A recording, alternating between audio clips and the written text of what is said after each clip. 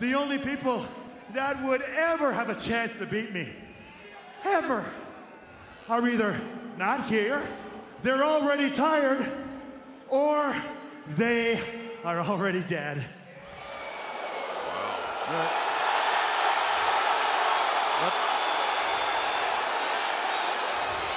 You know it's all about the